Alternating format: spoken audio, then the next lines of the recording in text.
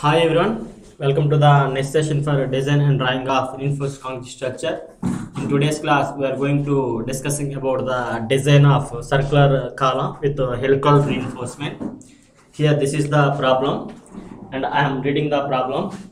Design the reinforcement in a circular column of diameter 300 mm with helical with helical. This is the helical with the helical reinforcement to support a factor load of 1500 kilonewton. The column has an unsupported length of 3 meters and is braced against sideway. Adapt M20 grade concrete and FE 415 HOSD steel bars. This is the question they asked they give the dimensions of the given parameters of the circular column for this circular column we should have to design the helical reinforcement these are the given parameters i have written here. The reinforced circular column of diameter the diameter of the column here given in the problem where d equal to diameter of the column d equal to 300 mm. And unsupported length of the column against uh, restrained they are given it as the 3 meters that is 3000 mm. Factor load they calculated factor load value they given in the problem that factor load value equal to 1500 kilonewton and uh, fck is the characteristic compressive strength of the concrete. And uh, fy equal to 415 is the yield strength of the steel reinforcement. There are several steps for uh, design of this longitudinal reinforcement of the column. Step by step procedure we will see. First we should have to calculate the slenderness ratio of the column. Based on this slenderness ratio we can say that whether the column provided column is either a short column or long column here the slenderness ratio we are presenting with, with the symbol of lambda.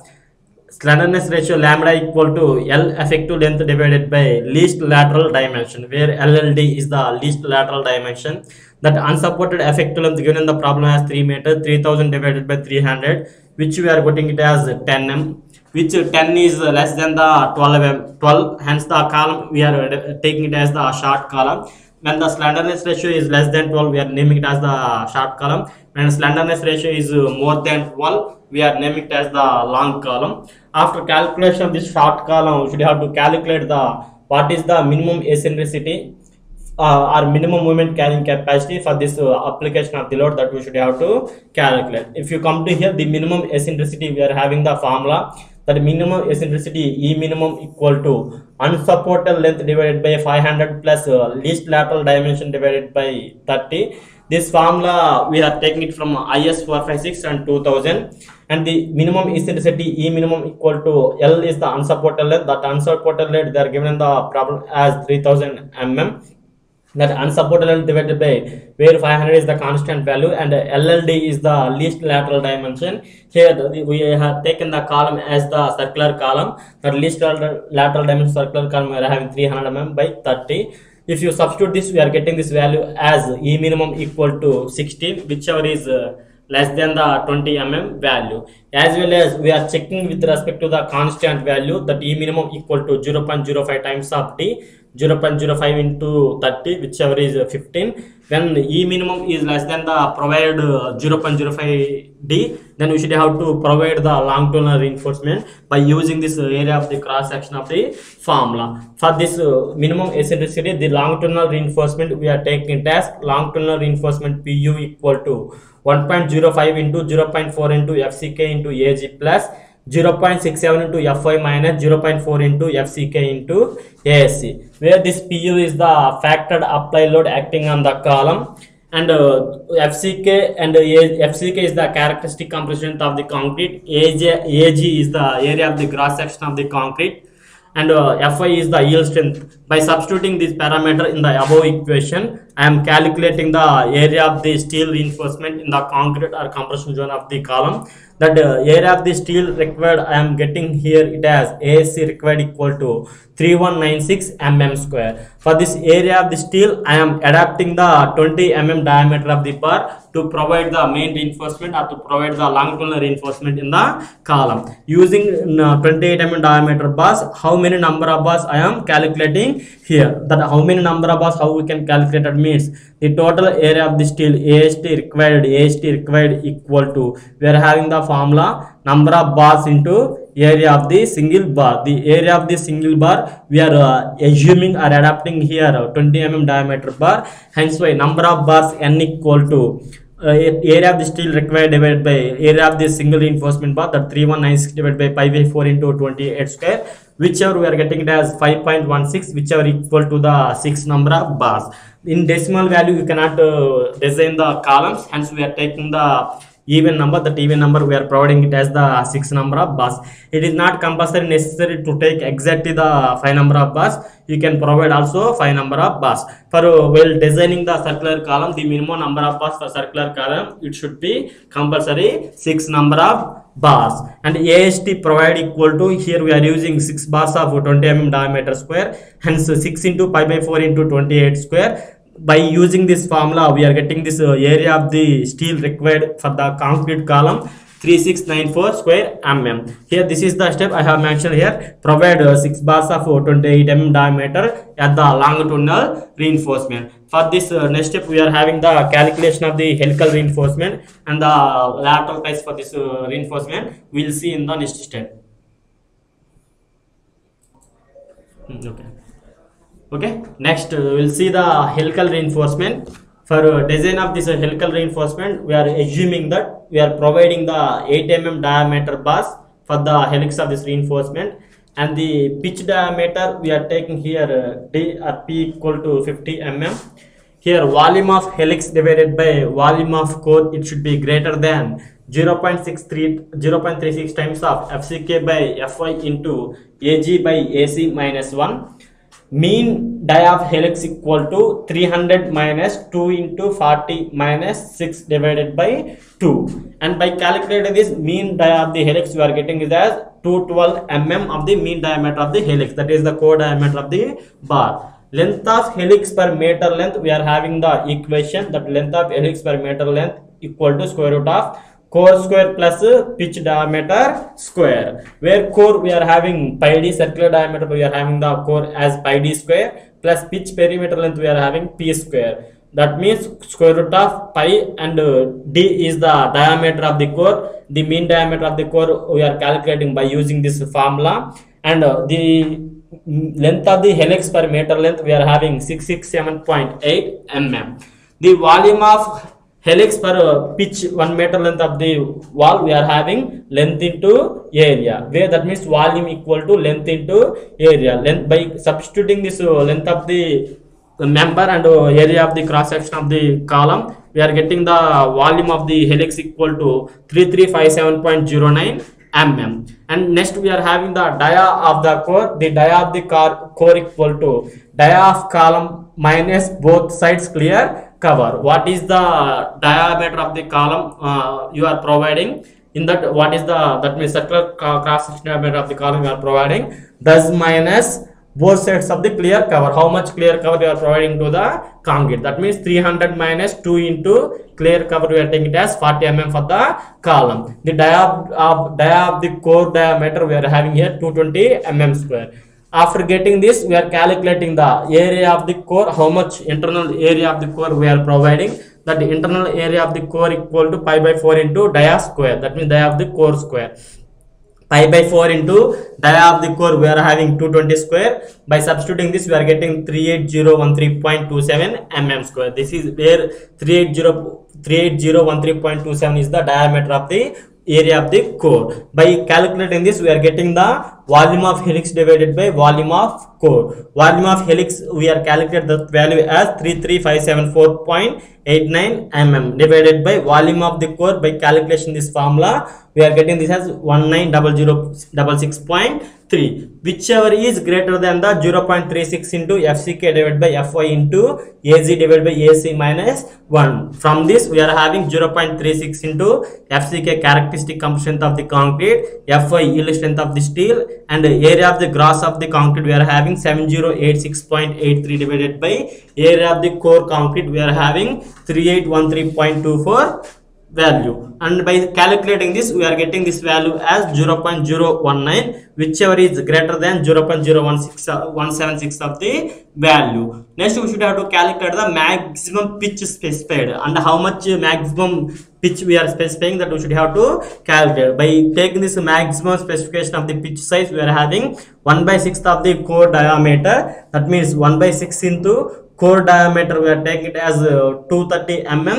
By calculating this we are getting this value as pitch size of the diameter of the bar as 36.6 mm diameter. Next we are having the reinforcement details. In that reinforcement details we are taking the clear cover of the concrete as 40 mm and 3 mm is the size of the circular size diameter. And inside we are providing the 8 mm dia with 36 mm center cent with the helix reinforcement. In the spiral way in the helical reinforcement we are providing the for the column. This is the cross section of the column and this is the longitudinal reinforcement. If you observe here where here 6 bars of 28 mm diameter we are providing in the column in the longitudinal direction. And 8 mm dia vertical helix we are providing a spacing of 36 mm this is the pitch spacing between the two internal core of the column. And the pitch spacing we are taking it as 30 mm between the two internal helical reinforcement this is the complete design procedure of the column when the circular column given in the problem and uh, based on the circular column we are providing the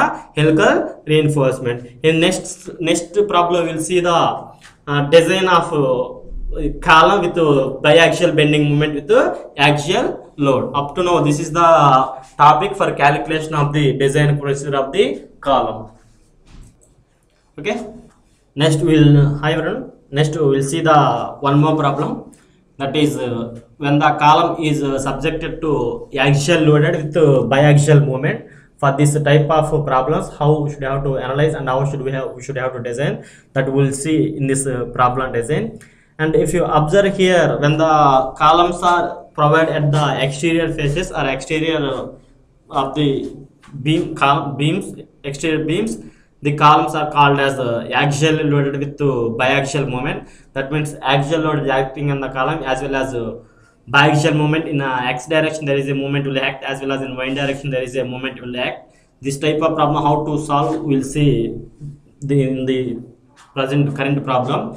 And uh, based on spin 16 chart also we will design uh, such type of these problems okay the question is design the reinforcement of short column 400 mm by 500 mm with a axial load of pu equal to 200 kilonewton where the moment acting along x direction that means mu x equal to 130 kilonewton per meter. The moment acting along the y axis that means mu y equal to 120 kilonewton per meter. Unsupported length of the current problem they are given the problem. It has uh, 3.20 meters use M20 grade concrete and FE415 HYSD steel bars. This is the problem question. For this question, we should have to design the analyze and design the reinforcement details for such type of problems. Okay, here uh, I have mentioned the given parameters or given properties of the column. The unsupported length of the column L equal to 3200 mm and the width of the column B equal to 400 mm and the depth of the column D equal to 500 mm and the axial load acting on the column they are given the problem it has PU equal to 2000 kilonewton and the moment is generating along the x-axis mu x equal to 130 kilonewton meter and uh, mu y along y-axis 120 kilonewton meter use M20 grade of concrete and Fe415 grade steel. If you observe while we are designing or analyzing the majority of majority of the problems, we are using the M20 grade of concrete and Fe415 grade steel. In some situations, we'll use instead of M20, we can take M25 also or M30 also. Instead of Fe415, we'll use in some condition Fe500 grade steel and Fe215 grade steel. This is the question. First, we should have to calculate the slenderness ratio of the column. Based on this uh, calculation of this um, slenderness ratio, we can say whether the column is uh, short column or uh, long column. By calculating this slenderness ratio, slenderness ratio lambda equal to effective length of the column to the least lateral dimension. And this least lateral dimension either it will be in the short direction or either it will be in the long direction that is along x or along y or major axis minor axis. The slenderness ratio lambda equal to L effective divided by depth of the column. That the effect unsupported effective length they are given the problem as 3200. 3200 divided by 500 mm, which we are getting as 6.4 whichever is less than the 12 mm hence the column we are uh, designated it as a short column. As well as if you observe in the slenderness ratio in the y direction ley divided by unsupported length of the column that is uh, unsupported length 3200 divided by the width of the column we are taking it as uh, 400 mm whichever is by calculating this we are getting value as 8 mm whichever is less than the 12 mm hence these both direction based on this uh, slenderness ratio we can say that the given column is the slender column. Okay the given column is the slender column. Next we should have to calculate the eccentricity of the column how much eccentricity is acting along x direction how much eccentricity is acting along uh, y direction. Based on the minimum eccentricity in x minimum eccentricity in y that we should have to calculate. That ex minimum equal to where moment mux equal to ex into pu that means moment equal to eccentricity into factor load. Here we should have to calculate the minimum eccentricity the ex minimum eccentricity along x direction ex minimum equal to pu x divided by sorry mux divided by pu where mu is the moment acting along the x direction. That is 130 into 10 power 6 newton per mm and the factor load they are given in the problem as 2000 kilonewton. That means 2000 into 10 power 3 2000 newton. And the minimum eccentricity along y direction mu y divided by pu equal to the minimum eccentricity along y direction we are having 120 kilonewton per meter. From here we are calculating 120 kilonewton per meter. That means 120 into kilonewton we are get converted into the newton and 10 power 6 um, mm divided by 2000 kilonewton we are getting converted into um, newtons. By calculating this we are getting the minimum eccentricity along y direction equal to 60 mm this we are calculating the by assuming or by calculating the how much amount of movement is acting on the section. Again according to IS 456 we are having the formula. The minimum eccentricity should be resist the applied moment that we should have to calculate by using this uh, formula that means ex minimum equal to or uh, minimum eccentricity along x direction equal to unsupported length divided by 500 plus the lateral dimension divided by 30 the lateral dimension either in x axis or in either in by y axis that means 3200 unsupported length divided by 500 plus 400 divided by 30 by calculating this i am getting this minimum eccentricity along x direction. Ex minimum equal to 19.73 mm whichever is less than or nearly equal to 20 mm.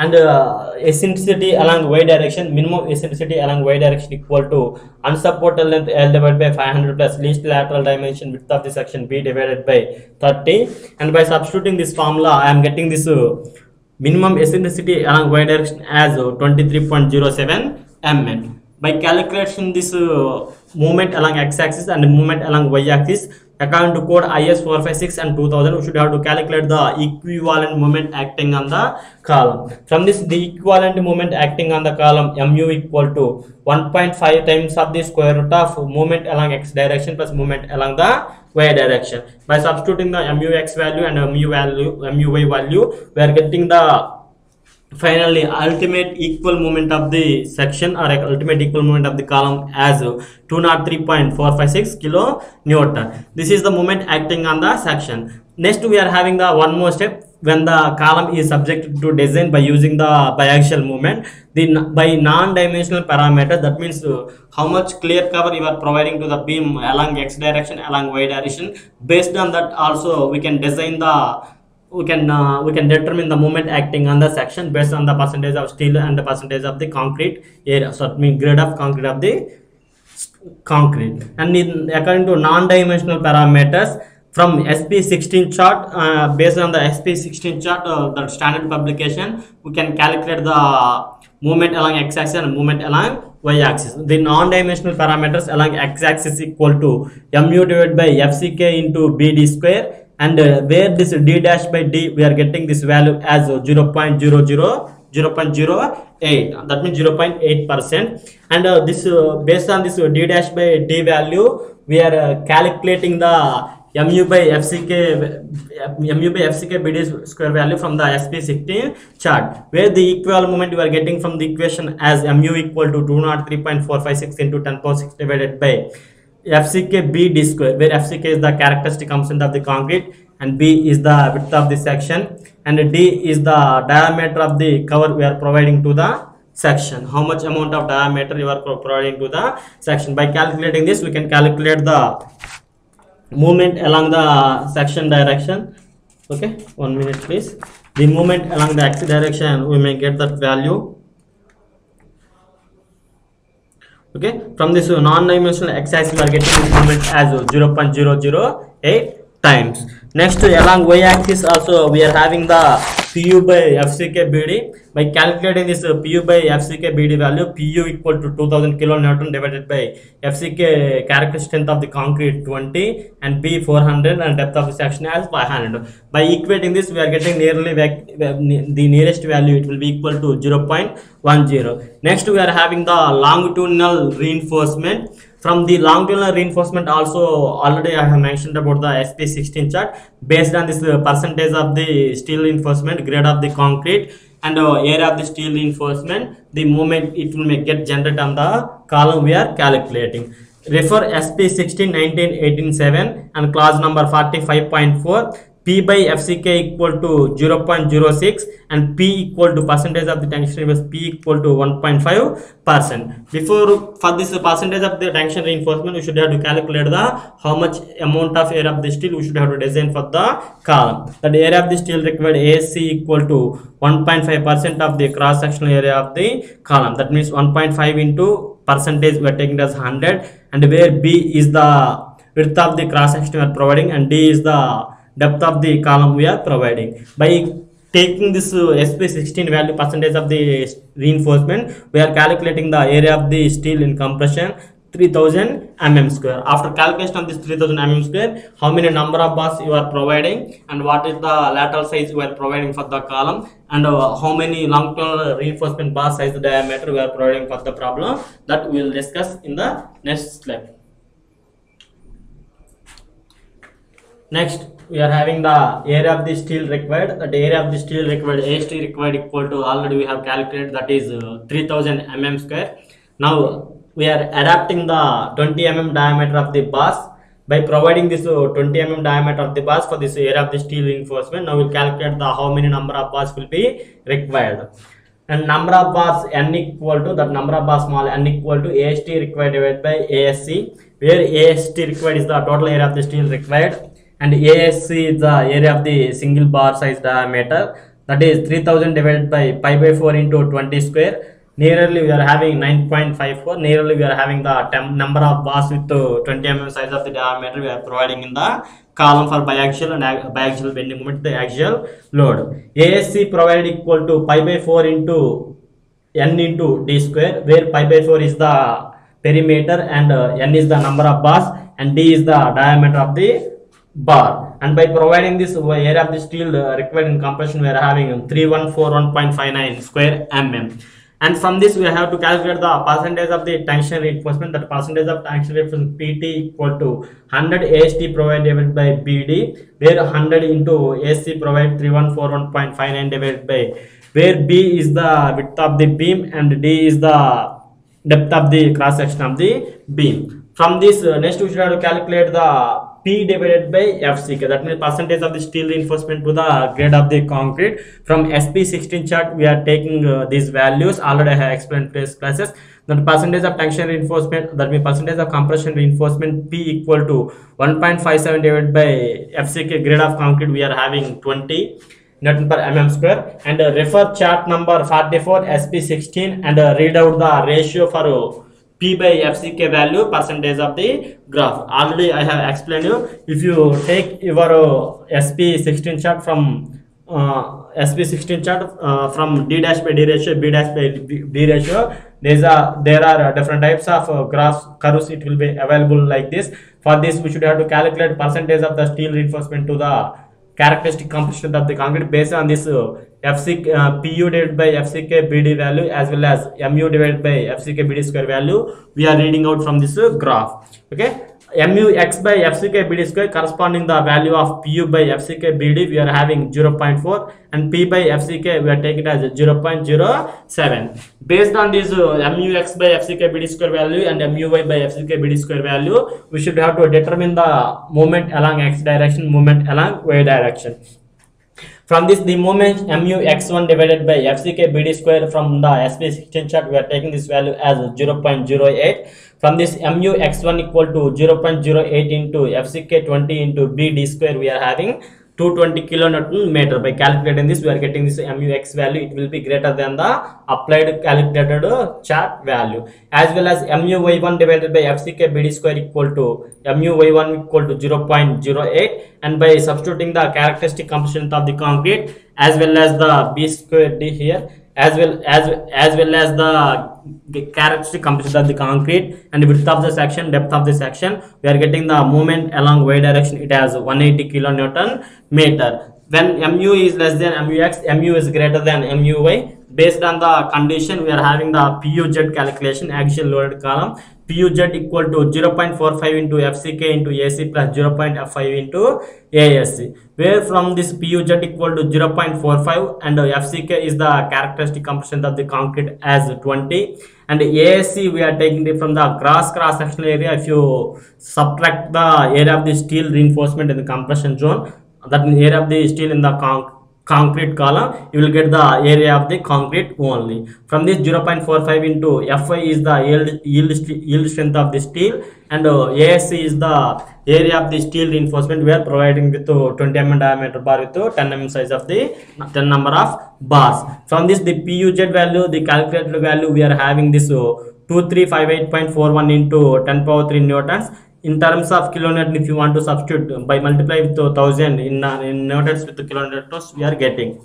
That means 1000 equal 1 kilonewton equal to 1000 newtons from this alpha n we are calculating that alpha n calculated value alpha n equal to pu divided by pu z where pu is the applied load acting on the column and pu z is the and PUZ is the load acting on the column by providing the reinforcement and compression strength of the concrete and grade of the steel all these things. And the alpha 1 value we are having 0.81 check for safety under biaxial loading. That means if you consider your column in that column we are applying the axial load as well as generating the movement along x direction along the y direction which having the biaxial movement. For that uh, safety condition we should have to check and that is mu x divided by mu x1 and mu y divided by mu y1 alpha power n and alpha power n where mu x is the applied moment and mu x1 is the the provision of the percentage of the tension reinforcement characteristic composition of the concrete. From sp16 chart we read out value we are substituting here. If you calculated this value we are getting this uh, 0.7 whichever is less than 1 hence if the biaxial bending moment also acting on the column it won't affect that much on the column next we should have to provide the lateral reinforcement for the 10 number of bars with the 20 mm size of the bars for that uh, tie reinforcement we are taking it as uh, one fourth of the longitudinal reinforcement of the main bar. That one fourth times of the longitudinal reinforcement main bar we are having 20 mm next uh, pitch of the tie of bar we are taking it as a uh, 16 times the diameter of the bar main longitudinal bar 16 times into 20 300 mm and 48 times the diameter of the bar that 48 into lateral ties we are putting 8 mm